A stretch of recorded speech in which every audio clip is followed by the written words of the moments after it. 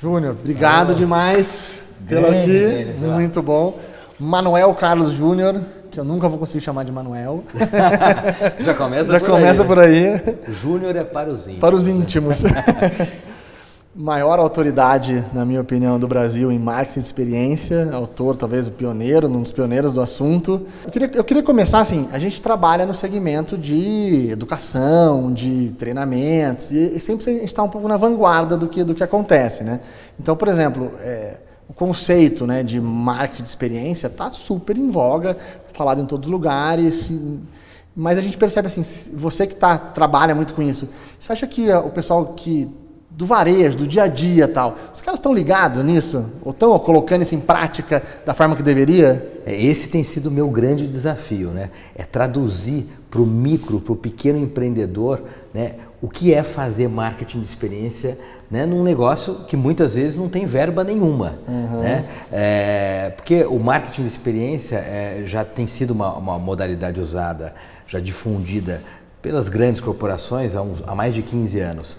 Mas traduzir isso para o micro e pequeno é o grande desafio. E quando a gente vai para alguns lugares do Brasil, né, e, e, para falar né, com o público de empreendedores que estão começando um negócio e tal, é, é muito curioso, porque a gente, eu procuro levar exemplos práticos né, de carrinhos de hambúrguer pelas esquinas do Brasil afora. Estão aplicando um diferencial Estão aplicando diferencial, algum, algum diferencial. Por exemplo, tem um caso de um empreendedor, o Naldo, é, ele vende pipocas no centro de Porto Alegre.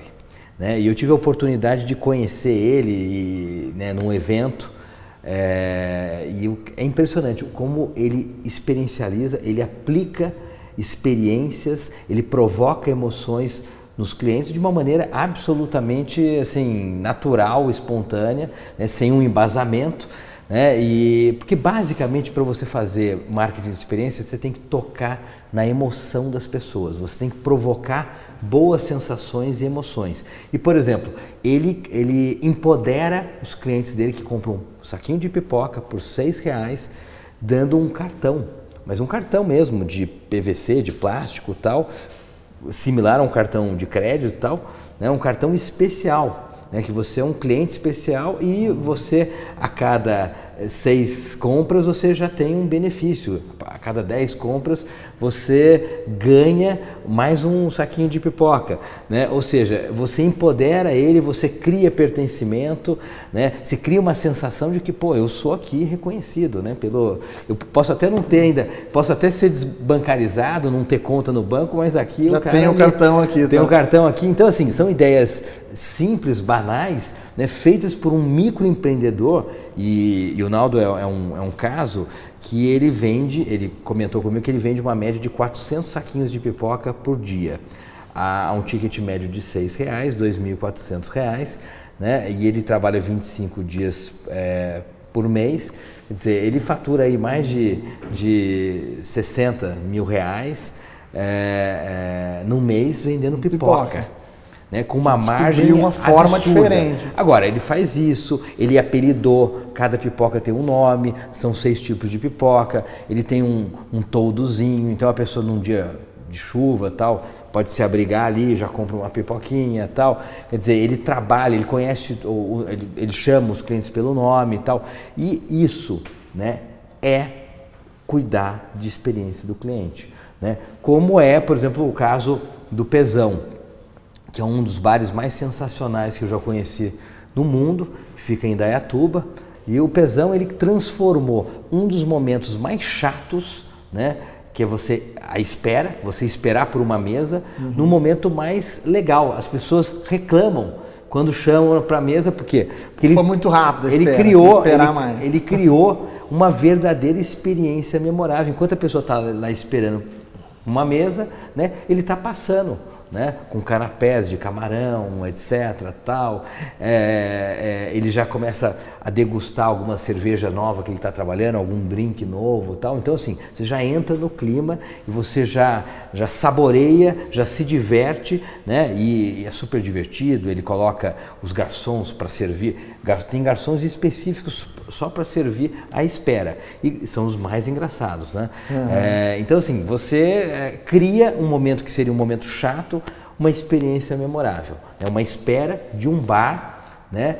Numa cidade do interior de São Paulo. Então, assim, a gente tem N casos e a gente utiliza desses casos, né, que também são casos inspiradores, para mostrar que uma micro, uma pequena empresa também pode fazer a diferença e criar uma experiência memorável para o seu cliente. Porque na prática é isso, né? A experiência do cliente é, é o quão gostoso é, agradável comprar de você, né? Aquela coisa, a experiência mesmo ali. E aí você vê quantos carrinhos de pipoca existem, quantos faturam igual esse caso, quantos bares existem, quantos têm um faturamento igual ao dele. Então, para que serve mais experiência? Então, uma pergunta que eu ia fazer já está respondida, né? Pra você ganhar mais, né? É. Vender mais, faturar mais, ter um lucro maior e ganhar mais. É, a, a, uma forma... o, o marketing de experiência é a melhor forma de você construir valor. Né? E de você Sim. se diferenciar, porque hoje os produtos e serviços estão cada vez mais parecidos.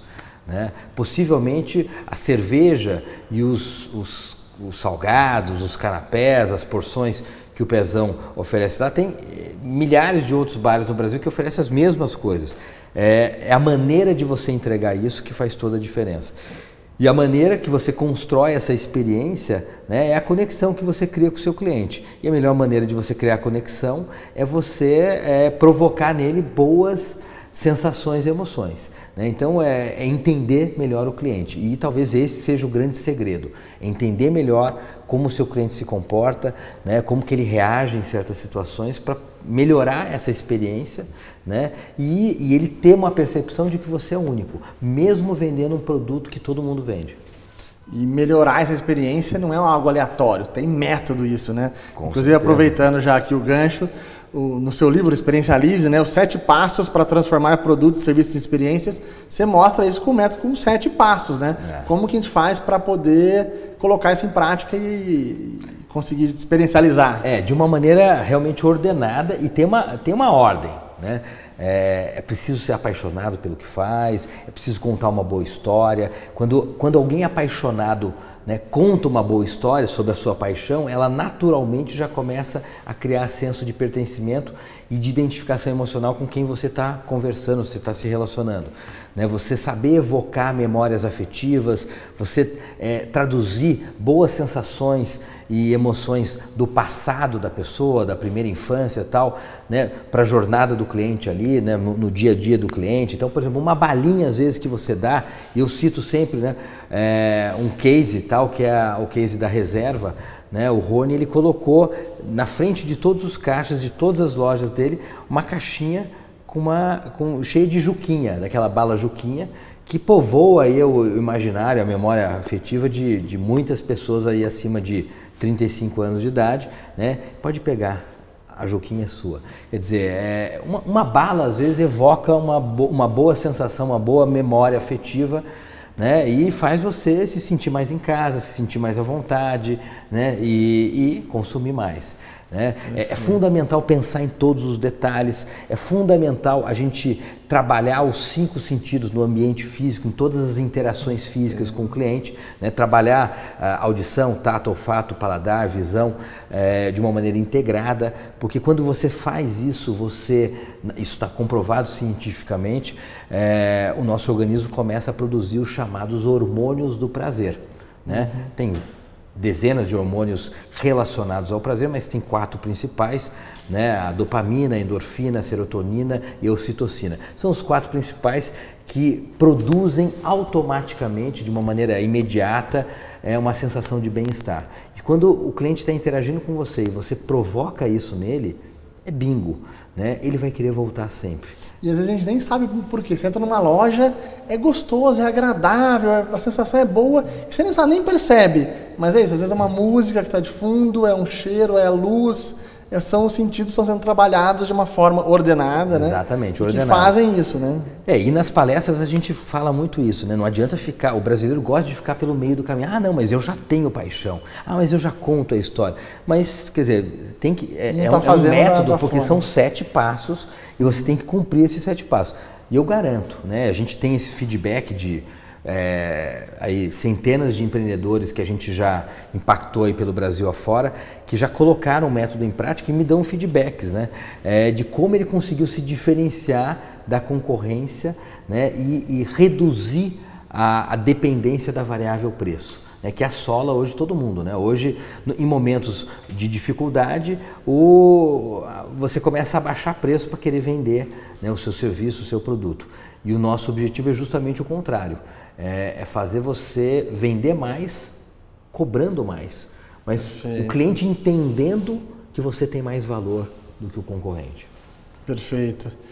E aí, é, uma, uma coisa que eu percebo muito assim, é, crescimento do, do, da venda online, do e-commerce, e as pessoas falam muito da queda, vai acabar a loja física, já passou um pouco isso daí, mas ainda tem essa, essa tendência, né? O pessoal vendo desse lado. Você não acha que tem muito a ver com isso? Que o, o, o digital ele tem o, o, diferencial dele, que é mais prático, mais rápido, e a loja física teria que ter uma, uma experiência mais agradável de ir lá e tal. E às vezes as pessoas pecam na experiência, deixam uma experiência média ou ruim, e aí para também pensar como eu compro online. Você não acha que isso explica um pouco? Tem, tem a ver um pouco com isso? Total, total. Eu acho que é, o, o, varejo físico é total, tem que ser ressignificado. Né? O varejo físico, é, a, a grande vantagem dele é provocar a experimentação, o teste, a usabilidade do produto, a interação com o produto ali, imediato. Precisa ser algo muito experiencial muito é, é, agradável, muito positivo tal. Quem não está é, é, investindo para isso vai ficar para fora do mercado, né?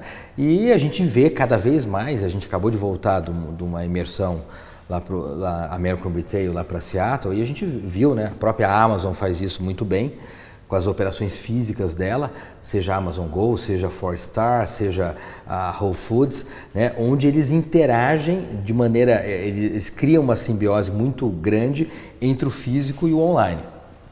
Por exemplo, as pessoas têm comprado a Amazon, eles têm usado a, as 2.100 lojas da Whole Foods pelos Estados Unidos afora como pontos de entrega né, é, da Amazon. Então a Amazon você, você, tem a possibilidade de buscar, em vez de você é, é de entregar na sua casa, de repente você está ali próximo do seu trabalho, uma Whole Foods e tal, eles entregam lá com alguns benefícios. Né? É, ao mesmo tempo que eles criam dentro dessas, dessas operações físicas uma série de, de, de interações online, né? onde você está dentro da loja física comprando online. Quer dizer, então assim, é, é, é cada vez mais fundido isso. Né? E eu tenho absoluta convicção de que o varejo está caminhando para algo absolutamente fundido entre o digital e o físico. Isso assim, para o varejo ficar bem claro tal, mas isso também funciona para outros segmentos, sabe? Tem uma, uma empresa de serviços, eu sou um, um médico, tenho uma clínica, ou sou um advogado, ou qualquer outro produto nessa linha. Isso dá para aplicar esse método também? Boa pergunta, viu? Na verdade, assim, um dos meus principais clientes é na área de serviço, sobretudo na área de saúde, médicos e dentistas. Né? Eu até pela, pela minha origem, de ter trabalhado muito tempo com, com, como publicitário, como gestor de marketing e tal, na área de, de, de saúde, né? E a gente percebe né, como claramente a gente consegue aplicar isso, esses conceitos, é, por exemplo, num consultório odontológico né, é, ou num consultório médico, né, onde é, a maior parte dos médicos não respeita o horário do, do cliente, né, é, deixa o cliente esperando e, achar, e pior de tudo que acha isso normal, uhum. a gente tem procurado transformar muitas vezes, que primeiro eliminar essa questão de fazer o cliente esperar, né, e quando, de, né, por alguma é, intercorrência aí, é, incontrolável, o cliente espera, transformar essa espera em algo absolutamente prazeroso, né? É, e de repente a conexão lá com o pezão, né? Com o pezão, é. O que, que a fila pode ser interessante, ou menos ruim, pelo menos. É, né? menos ruim. Esperar pode ser. E, então a gente tem procurado, por exemplo, a gente tem um cliente aqui em São Paulo que é uma, uma clínica é, odontológica tal que referência tal de qualidade, onde o cliente espera fazendo uma massagem relaxante. Né? Quer dizer, você cria uma experiência memorável. Já não ligo né? de esperar mais. Não ligo de esperar. Não, pelo contrário, você já. Uhum. Né? Quer dizer, Quero chegar um pouco antes para garantir a minha massagem. garantir a minha massagem. E, não, e, e a gente usou isso como ferramenta para melhorar a pontualidade dos clientes. E funcionou. Ainda mais uma cidade de São Paulo, onde tem trânsito, que, né, que é um complicador para as pessoas às vezes cumprirem o horário. Sensacional. É, ó, se você chegar 15 minutos antes, tem a massagem. Sensacional. É, e daí a massagem pode ser alongada conforme o horário do se o dentista está atrasado. Hum. Então, você, então a gente cria experiências até para melhorar produtividade né, é, e melhorar a entrega. Né? E aí tem um outro ponto que, que é super importante, eu imagino nisso, que é a questão da equipe, né, de qualificação e treinamento. Porque, por exemplo, tem um caso que aconteceu comigo, de, de ir numa grande rede, magazine, fazer uma compra online, o site foi muito bom, a experiência de compra foi ótima, e aí eu escolhi a opção, tinha várias opções, escolhi a opção de retirar na loja. E aí eu estava tava em São Paulo, eu passei na loja, uma mega store, super bonita, estacionamento ótimo, a pessoa te esperando na porta, te levou até a loja, até a porta, eu cheguei e uma pessoa me esperando, uma pessoa na porta, pois não, posso ajudar? Falou, ah, eu estou vindo buscar uma mercadoria, compra online? Sim. Então o senhor vai seguir essa faixa, dessa cor no chão, Pô, fácil para facilitar numa loja grande. Fui seguindo a faixa, passando pela loja, a loja toda decorada, ótima, a experiência ótima. Chego no balcão de retirada, eu peço o meu produto, a pessoa tem um atendimento horrível. Tipo, ela gritou, oh, pessoa, traz, João, traz aqui o negócio dele. E aí não trouxe, demorou cinco minutos e não voltava. Aí a pessoa passou, ah, você tá aqui ainda? Ô João, cadê o negócio do cara?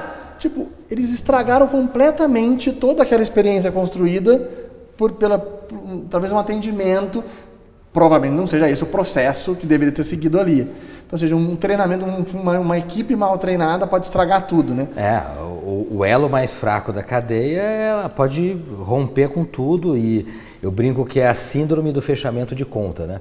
Quando o cliente num restaurante, depois de ficar uma hora e meia, duas horas num restaurante, ele pede a conta, é porque ele quer a conta naquela hora, né? Às vezes você, é, todo um, um ótimo atendimento, uma ótima experiência pode ser absolutamente abalada pelo fechamento da conta. O cara atrasa, Perfeito. o cara, de repente ele está tá dando atenção para uma outra mesa tal, esquece de você ali, você querendo ir embora, tal, ansioso já para sair, ferra com tudo. É o, foi o, o, caso que você citou, né? Quer dizer, todo o processo estava redondinho, quando chegou na finalização ali, uma pessoa de repente num dia de repente inadequado tal ou mal treinado ou mal preparado pode pôr tudo a perder. Então é fundamental né? E é por isso que a gente existe a Polo e a gente né? Pra, e a gente tem feito muito isso né? Treinado equipes né? Porque sem dúvida alguma é, qualquer processo ele vai ser colocado à prova no que a gente chama de hora da verdade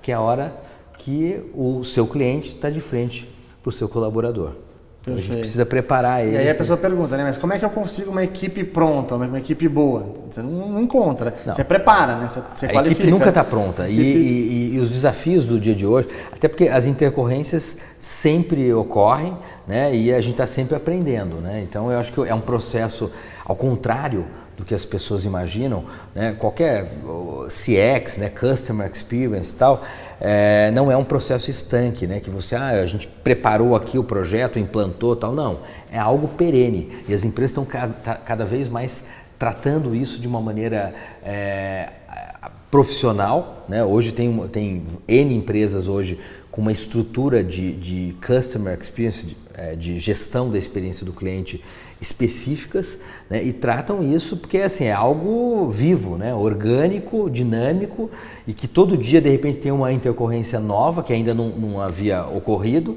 que precisa ser ajustada, que precisa ser melhorada, tal. E a, as demandas dos clientes são cada vez mais maiores, né? A régua do cliente, né, a régua de exigência dos clientes está cada vez mais alta.